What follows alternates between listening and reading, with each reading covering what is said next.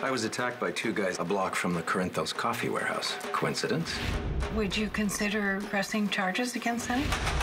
Michael, Carly, Jason, Dex, Nina. I'm done with all of them. General Hospital on ABC.